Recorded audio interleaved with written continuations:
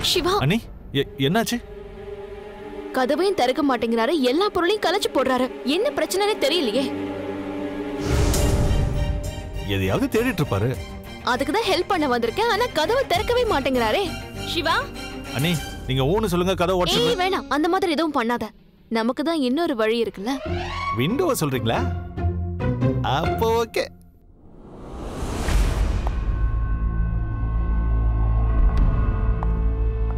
எங்கடா வச்சான் யோசிச்சு பாரு. பாரு யோசி யோசி யோசி. உனக்கு இதே வேலையா போச்சு.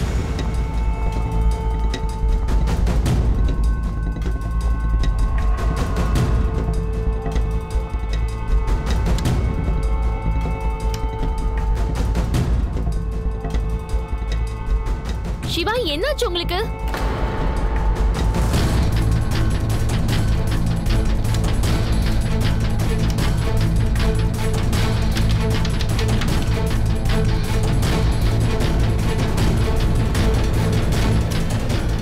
சிவா?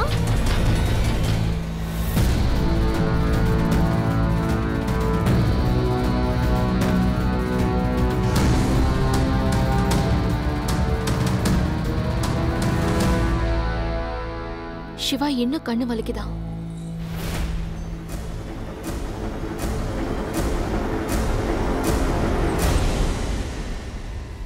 நீ எதுக்கு இங்க வந்த?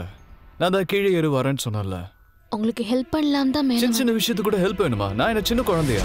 ஐம் ஃபைன் ஓகே போலாமா?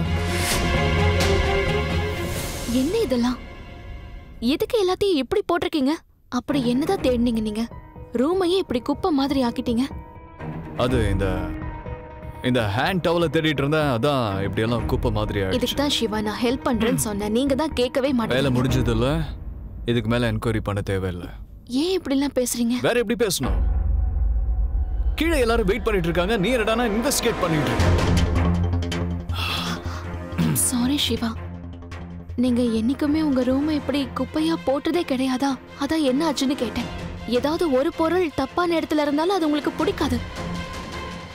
நீங்க நடந்துக்கிறது வித்தியாசமா இருக்கு. அதான் நான் கேட்டேன். நான் கொஞ்சம் அவசரத்துல இருந்ததுனால தான் அது பிரிங்குக்கு என்கேஜ்மெண்ட் ஆகுதுல்ல? ஸோ டைம்க்கு அங்க இருக்கணும் இல்லையா? போலாமா? கமா